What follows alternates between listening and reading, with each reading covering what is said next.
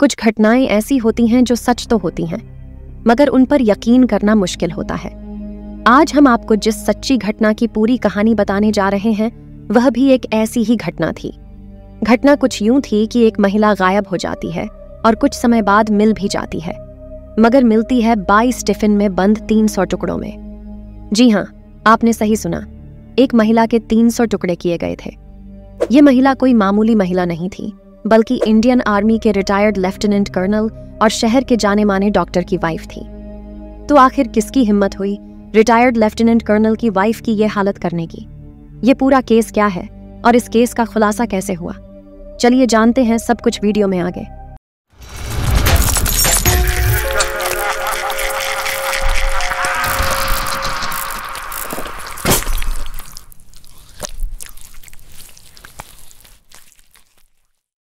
यकीन मानिए, जब आप कातिल और कत्ल की वजह के बारे में जानेंगे तो आपके लिए ये किसी झटके से कम नहीं होगा। लाश के टुकड़े करने में इस्तेमाल किए गए हथियार के बारे में भी जानकर आप चौंक जाएँगे। तो चलिए, बिना देरी के कहानी शुरू करते हैं। ओडिशा की राजधानी भुवनेश्वर में नयापल्ली नाम की जगह है। यही एक बड़े से बंगले में इंडियन आर्मी के retired lieutenant colonel doctor Somnath Parida अपनी पत्नी उषा श्री समल के साथ रहा करते थे। सोमनाथ परिदा ने 1970 में बतौर second lieutenant Indian army join की थी, जबकि वो लेफ्टिनेंट कर्नल के पद पर रहते हुए उन्नीस में आर्मी से रिटायर हुए थे। आर्मी में वो बतौर डॉक्टर अपनी सेवाएँ दे रहे थे। डॉक्टर सोमनाथ परिदा की गिनती आर्मी के बेस्ट सर्जन में की जाती थी। आर्मी से रिटायरमेंट के बाद इन्होंने लंबे समय तक वर्ल्ड हेल्थ ऑर्गेनाइजेशन यानी WHO के लिए भी काम किया था। जब ये भुवनेश्वर में रहने लगे तो उन्होंने अपना खुद का क्लिनिक स्टार्ट कर लिया था। डॉक्टर सोमनाथ, परीदा और उषा श्री समल के दो बच्चे थे। बेटा डॉक्टर बनने के बाद अमेरिका में सेटल हो गया था, जबकि बेटी दुबई में सेटल हो गई थी। दोनों बच्चे दूर रहते थे, मगर फ़ोन पर माँ से ज़रूर बात होती रहती थी। बच्चों की बात ज़्यादातर अपनी माँ से ही होती थी, क्योंकि सोमनाथ, परीदा कुछ अलग ही मिजाज के थे। इन्हें बहुत जल्दी गुस्सा आ जाता था। इस कारण उनकी किसी से भी ज़्यादा बनती नहीं थी। यहाँ तक कि अपने बच्चों से भी उनके रिश्ते बहुत अच्छे नहीं थे। सामाजिक रूप से भी वो खुद को अलग थलग रखते थे। कहने को तो उनका घर एक बड़ा सा विला था, मगर उसमें इन दोनों के अलावा कोई नहीं रहता था। इनके यहाँ रिश्तेदारों का आना जाना बहुत कम ही होता था। कुछ लोग तो सोमनाथ परीदा के बड़े से बंगले को भूतिया घर भी कहते थे।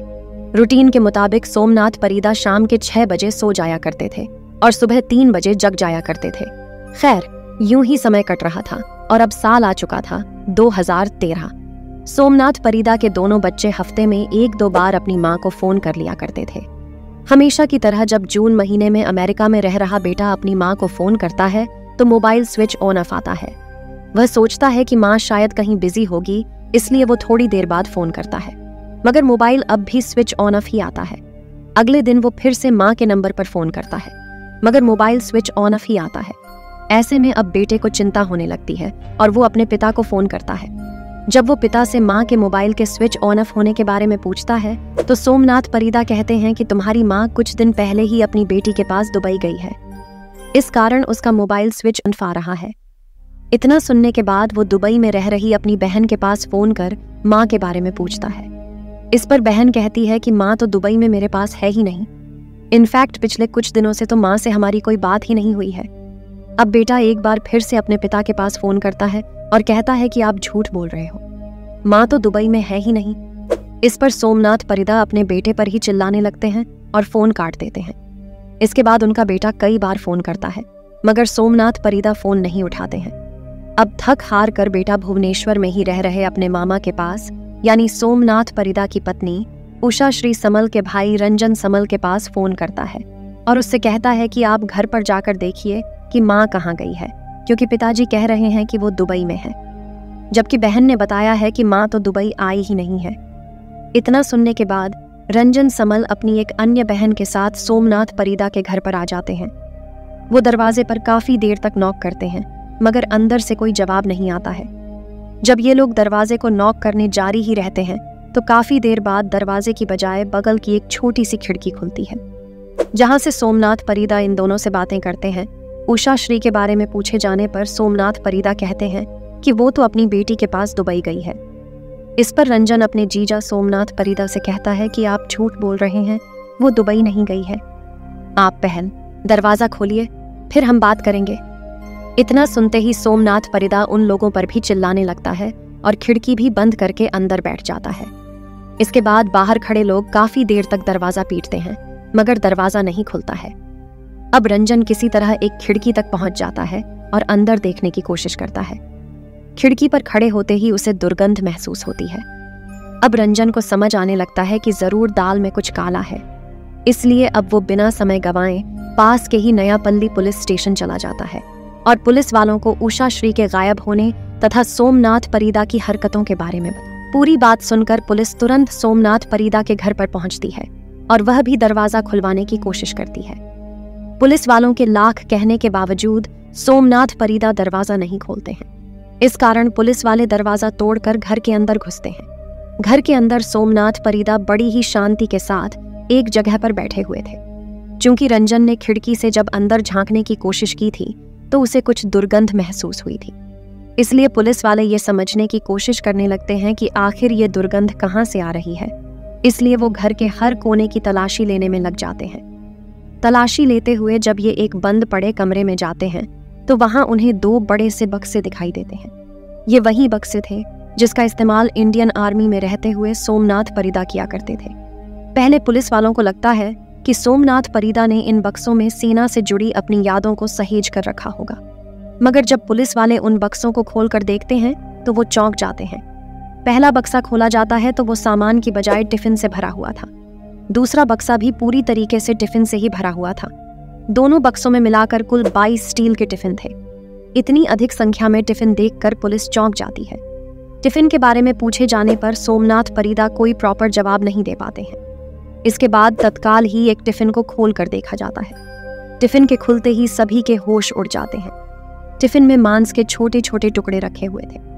एक के बाद एक सभी बाईस टिफ़िन को खोला जाता है। पता चलता है कि सभी टिफ़िन मांस के टुकड़ों से ही भरा हुआ है।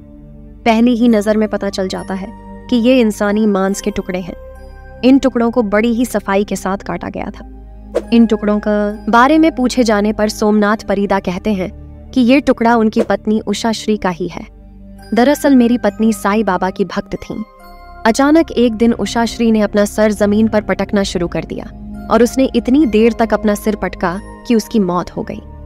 मरने से पहले उसने मुझसे कहा था कि मेरे मरने के बाद मेरा अंतिम संस्कार शिरडी में करना, उषा की इच्छा अनुसार उसे ऐसे ही शिरडी ले जाना मेरे लिए संभव नहीं था।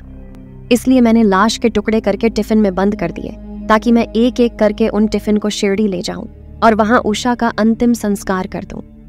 यह दावा अपने आप में ही बहुत अजीब था कि आखिर कोई कैसे खुद ही अपना सिर पटक कर मर सकता है। इसलिए पुलिस वाले सख्ती से सोमनाथ परीदा से पूछताछ शुरू करते हैं। उधर जब उन टुकड़ों की जाँच पड़ताल की जाती है तो पता चलता है कि उन टुकड़ों में सिर वाला हिस्सा शामिल नहीं है। इसलिए अब सिर की खोज शुरू होती है, और ये खोज घर के अंदर बड्ढे से एक टेबल के ऊपर जाकर खत्म होती है। दरअसल सोमनाथ परीदा ने उषा का सिर काट कर हॉल के बीचों बीच रखे बड़े से टेबल पर अच्छे से सजा कर रखा हुआ था, और उसे ऐसे ढक कर रखा हुआ था कि किसी को भी पता न चले। सिर काफ़ी हद तक सड़ चुका था। यहाँ तक कि सर की स्किन और बाल भी अलग हो रहे थे। हालाँकि बदबू कम थी, क्योंकि बदबू छिपाने के लिए सोमनाथ ने एक खास केमिकल का उपयोग किया था। कटे हुए सिर को टेबल पर रखने की बजाय, जब पुलिस वालों ने सोमनाथ परीदा से पूछी तो उसने जो दावा किया, वो बेहद ही हैरान करने वाला था। सोमनाथ के मुताबिक वो हर रोज घंटों उस टेबल के सामने बैठकर अपनी पत्नी उषा के कटे सिर से बातें किया करता था। भले ही सोमनाथ परिदा ने आत्महत्या वाली कहानी पुलिस को बताई थी, मगर पुलिस इस कहानी पर यकीन नहीं करती है और मामले की तह तक जाने के लिए अपनी जाँच का दायरा बढ़ाते हुए पूरे घर में बारीकी से सर्च करना शुरू कर देती है। साथ ही सोमनाथ परिदा से भी सख्ती से पूछताछ का सिलसिला शुरू होता है और उस पूछताछ में जो खुलासा होता है, वह बेहद ही हैरान करने वाला होता है।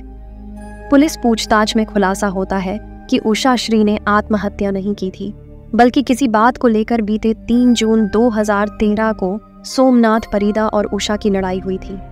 इसी लड़ाई के दौरान सोमनाथ ने अपने पास मौजूद स्टील के टोर्च से अपनी पत्नी के सर पर जोरदार वार किया।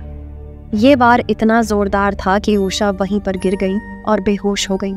पत्नी के बेहोश होने के बावजूद सोमनाथ, परिदा का गुस्सा शांत नहीं हुआ, बल्कि उषा की जान लेकर ही सोमनाथ का गुस्सा खत्म हुआ।